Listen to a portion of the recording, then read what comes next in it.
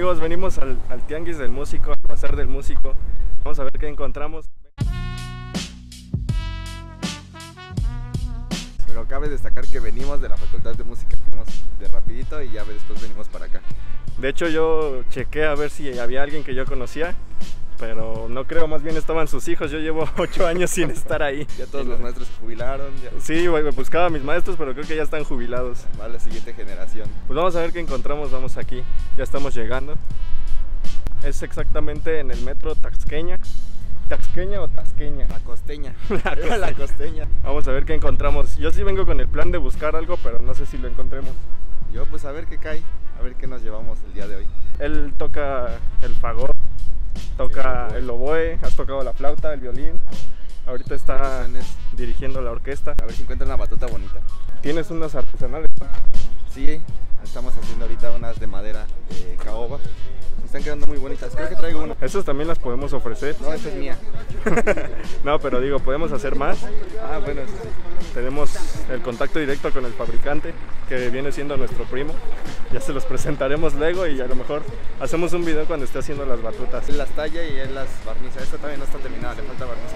Está muy bonita. Ya estamos llegando, ya ustedes se están dando cuenta que aquí atrás están todos los instrumentos. Aquí vemos unas guitarras. ¿Qué tal? Gracias. Ahí tienen unos saxofones. Violín rosita.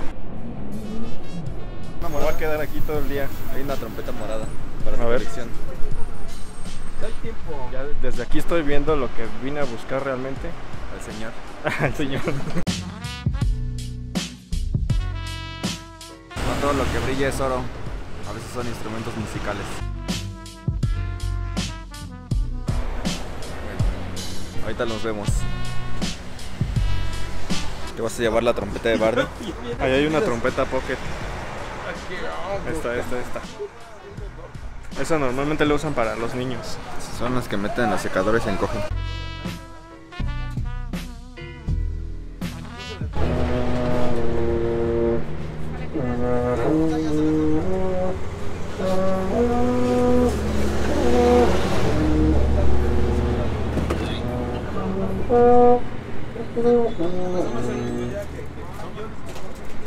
¿Esa flauta qué es? La flauta. ¿Agujerada qué marca tiene? Perforada.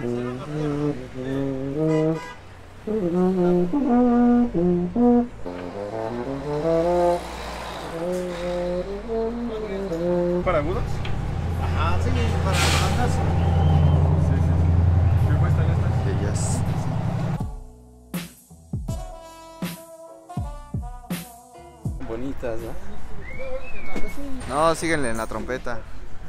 O no, sí, aviéntate el varito, no. Amigos, estábamos checando ahí el barítono porque tengo un proyecto en mente. Quiero, quiero aprender a tocar el barítono, siempre me ha gustado ese instrumento. Vamos a ver si, si nos llevamos el barítono, si encontramos uno a buen precio. Y si no, pues simplemente van a ver aquí el tour por el Bazar del Músico. Sí, pongan en los comentarios. Sí, síguenle en el varito, no, no, en la trompeta. Pero Yo creo- videos no, videos ya no. Por... Yo creo que sí, mejor me sigo en el barítono. Me salió mejor el sonido ahorita que con la trompeta. Oye, las Sí. boquillas estaban muy buenas, ¿no? Las de trompeta. Ah, Estaban muy bonitas las de trompeta, dice que son para la banda, como para tocar agudos y todo eso. La- el orificio lo tenía muy pequeñito, no sé si se alcanzaba a ver. No son las que ocupan para el jazz. Mira, aquí estoy viendo más metales.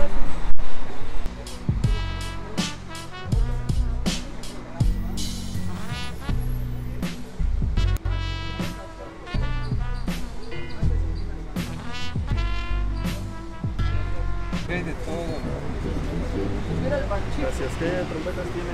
¿Los Stradivarius? ¿Qué toque? Bien, métodos. Pero si la pita, dice, me la llevo. A ver. Un cáliz.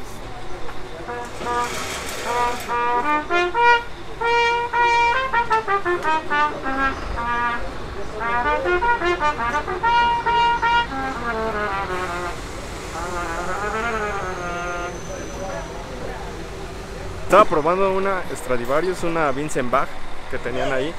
La tenían a muy buen precio, la tenían en 12 mil pesos, pero se me hizo muy raro que estaba muy sorda. Lo que sí hay que tener cuidado porque muchas veces hay instrumentos que son piratas. Yo no sé si esa sea original, se me hizo muy raro que se escuchaba muy sorda.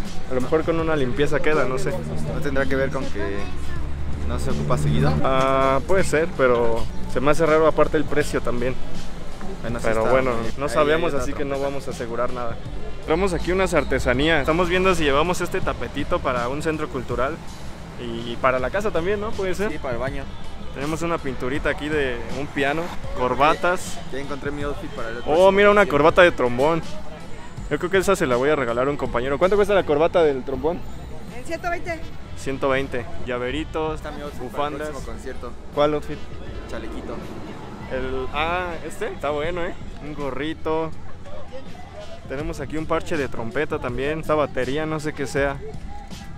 Aretes, pines. Yo creo que esta te la vas a comprar tú.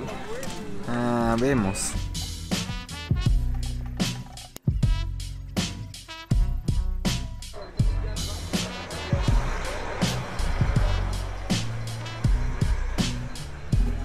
Este es el tianguis del músico o el bazar del músico como muchos lo conocen. No, yo soy tu hermano.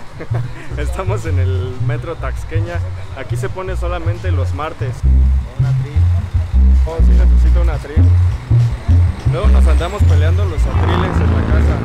Como todos tocamos, tengo un primo que toca el corno, luego él anda tocando el fagot, mi hermana el cello, yo la trompeta y solo tenemos una atril, entonces igual y buscamos una atril.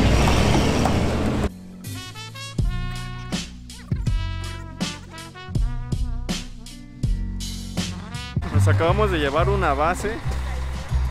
¿Qué tal la base? Es para la tablet. Aquí se pone la tablet y aparte se le puede poner este. O sea, para cuando pones la tablet ahí con la partitura o si no aquí pones la partitura aparte. Tiene para su micrófono, tiene una extensión para micrófono. ¿Cuánto me dijo? 450 más 130 esta, este accesorio. Yo digo que está bien. Yo digo que fue una ganga. También estamos viendo algunos atriles de colores. Rojos acá y amarillos.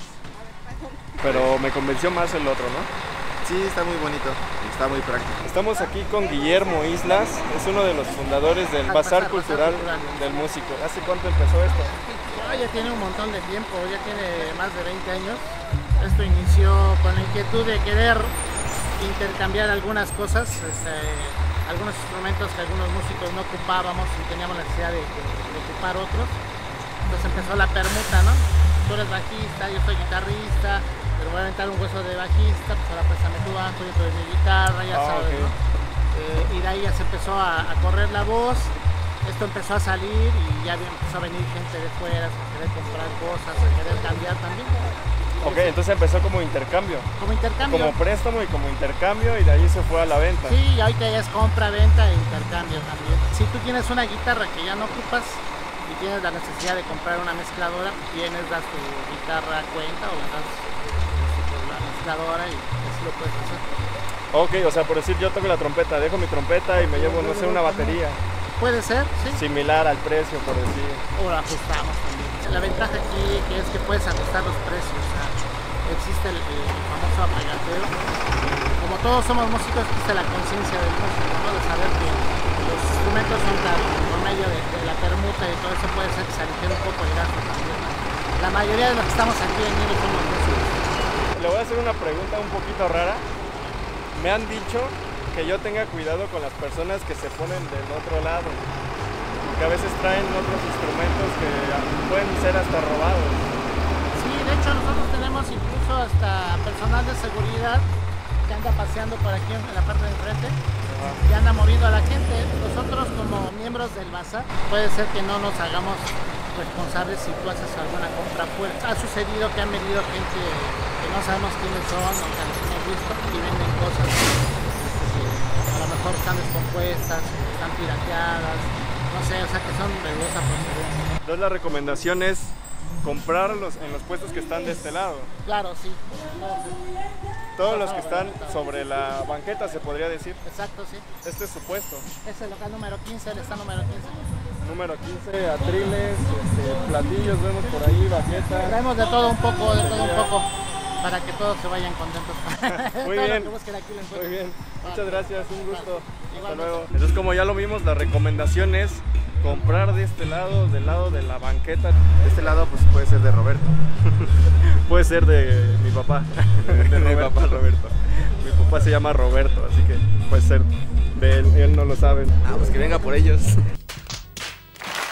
Este tianguis, como les decimos, está solamente los martes. Ya vimos que empezó como un intercambio. Ya lleva 20 años, por lo que nos comentaba nuestro amigo que nos vendió este atril, por cierto, muy bueno. Ya llevamos la, la primer cosa, un atril. Vamos a ver qué más podemos encontrar por aquí. No muchas porque me voy a poner a cargar.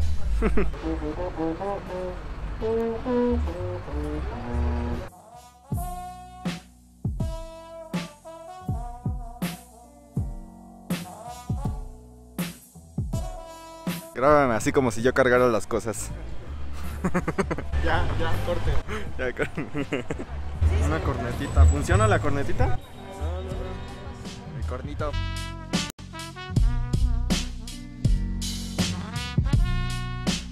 Hemos terminado, ya vamos de regreso.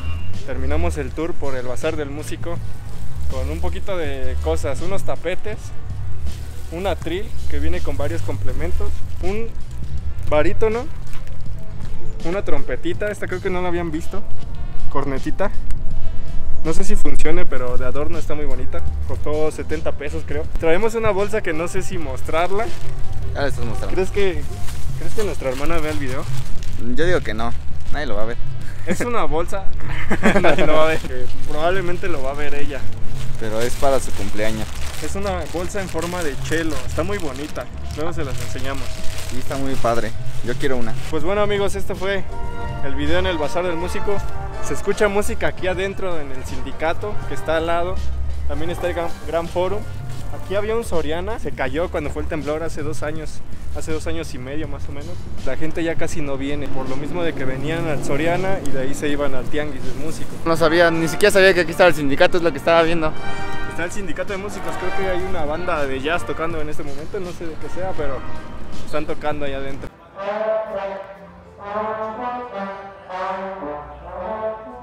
Cuídense mucho amigos y si quieren visitar el Bazar del Músico en, en Metro Taxqueña, al lado del Gran Forum, al lado del Sindicato de Músicos, nos vemos. Ya es toda.